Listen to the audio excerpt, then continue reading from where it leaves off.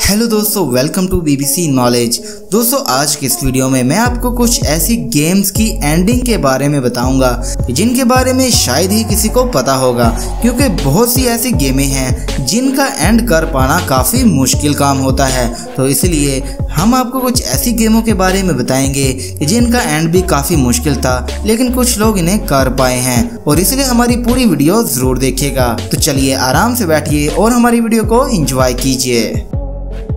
Number one Pac-Man Pac-Man को जापानी games company नैमको ने साल 2019 में लॉन्च किया था। ये एक सिंपल सी गेम है कि जिसमें एक प्लेयर को लेवल में दिख रहे सारे के सारे डॉट्स खाने होते हैं और साथ दूसरे दिखने वाले एनिमीज से बचना होता है। हर लेवल क्लियर करने के बाद गेम और भी ज़्यादा मुश्किल होती जाती है। ये 21 लेवल तक कुछ आसान होती है। उसके बाद ये सभी एनिमीज तेज़ी से भागने लगते हैं, जिससे कि गेम मुश्किल होने लगती है। इसमें करीबन 255 लेवल हैं और इन्हें पार करना बिल्कुल नामुमकिन है। लेकिन इस गेम के एक्सपर्ट प्लेयर बिली मिशेल ने एक दफ़ा कुछ घंटों में ही 255 लेवल को भी पार कर लिया था और वो लेवल दो सौ छप्पन तक पहुँच गए थे। लेकिन जब वो लेवल दो सौ छप्पन तक पहुँचे, तब इन्हें पता चला कि उस लेवल पर कोई प्रोग्रामिंग मिस्टेक थी। जिसके बारे में इस गेम को बनाने वालों को भी नहीं पता था। लेकिन इस शख्स ने इस मिस्टेक वाले लेवल को भी पार करने का तरीका ढूंढ ही लिया। और जब इन्होंने दो सौ छप्पन लेवल को पार किया तो वो दोबारा लेवल वन पर आ गए।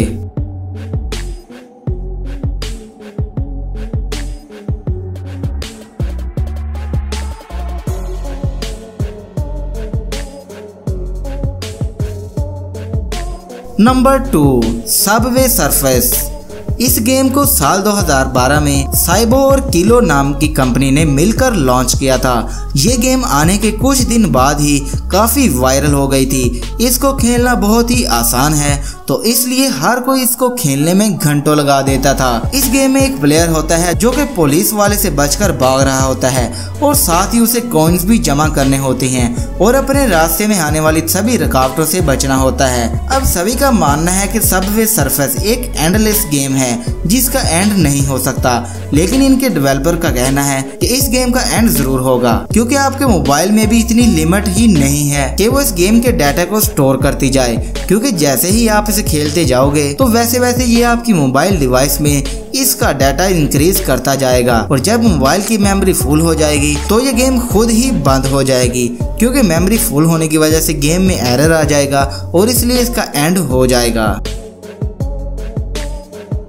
नंबर थ्री फ्लैपी बर्ड इस आम सी दिखने वाली गेम ने आते ही एक हफ़्ते में ही पूरी दुनिया को अपना दीवाना बना लिया था और इस गेम को बनाने वाले का नाम था डोंग डिजॉन। डोंग को इस गेम को बनाने में सिर्फ़ कुछ ही दिन लगे थे और इन्हें उम्मीद भी नहीं थी कि उनका ये सिंपल सा गेम लोगों को इतना ज़्यादा पसंद आएगा। और इस गेम के अब 50 मिलियन से भी ज़्यादा डाउनलोड्स हो चुके हैं। और जब ये गेम वायरल हुई थी तो पूरे सोशल मीडिया पर इसी के चर्चे होने लगे।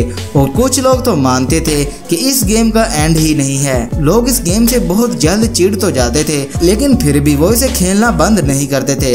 लेकिन कुछ लोग इस गेम को एंड करने में कामयाब हो जाते हैं। लेकिन इनको गेम की एंडिंग कुछ खास नहीं लगती। जब गेम में नौ सौ निन्यानवे पॉइंट पूरे हो जाते हैं और इस बर्ड्स के सामने सुपर मारियो आ जाता है तो तब वो गेम वहीं पर खत्म हो जाती है। तो जरा सोचिए, वो इंसान कितना दुखी हुआ होगा, जिसने इस गेम को एंड करने में बहुत मेहनत की होगी और एंड में सिर्फ़ सुपर मारियो के आ जाने पर वो गेम खुद ही खत्म हो जाती है।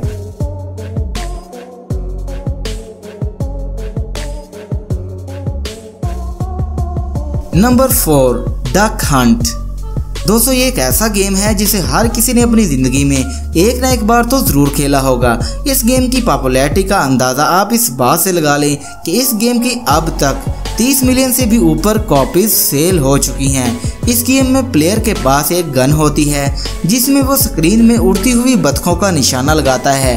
इन डक्स को एक शिकारी कुत्ता इन घास में से उड़ा रहा होता है। लेकिन ज़्यादातर लोग इस गेम की एंडिंग के बारे में नहीं जानते हैं। जी हाँ तो जब प्लेयर इस गेम के 99 लेवल को पार करता है तो वो फ़ौरन लेवल ज़ीरो पर पहुँच जाता है। तो फिर इस लेवल पर क्या होता है? इस लेवल पर आसमान से बहुत ही तेज़ी से डक्स नीचे गिरती हुई नज़र आती हैं, जिन पर निशाना लगाना नामुमकिन होता है। और इस तरह वो गेम ओवर हो जाती है, जिससे कि प्लेयर काफ़ी मायूस हो जाता है।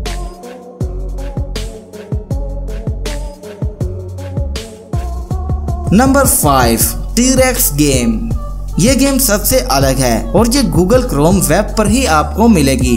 और ये तब मिलती है कि जब अचानक आपका इंटरनेट बंद हो जाता है और आपके सामने स्क्रीन पर एक डायनासोर बना हुआ नज़र आता है, जिनके नीचे लिखा होता है कि there is no internet connection तो बस आपको स्पेस दबाना होता है और गेम शुरू हो जाती है। इसको खेलना बहुत ही आसान है। बस प्लेयर को स्पेस दबाना होता है और रास्तों में आने वाली रुकावटों से बचना होता है।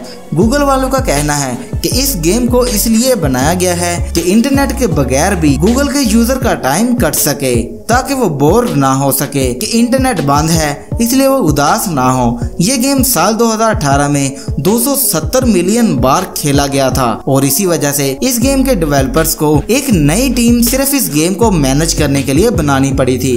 और इसी तरह इस गेम की भी एक एंडिंग है। लेकिन दोस्तों, इस एंडिंग को कोई भी कभी भी नहीं देख सकता। ना ही अभी तक इसकी एंडिंग नज़र आई है। दरअसल डेवलपर्स का कहना है कि इन्होंने इस गेम के कोर्स को बहुत ही क्रिटिकल तरीके से लिखा है और इसी वजह से इस गेम को एंड करने में करीबन एक करोड़ सत्तर लाख साल लगेंगे और पता नहीं तब तक कौन ज़िंदा बचेगा। मेरे ख्याल से कोई भी नहीं। और इसलिए अब इतनी देर तक तो सभी मर चुके होंगे।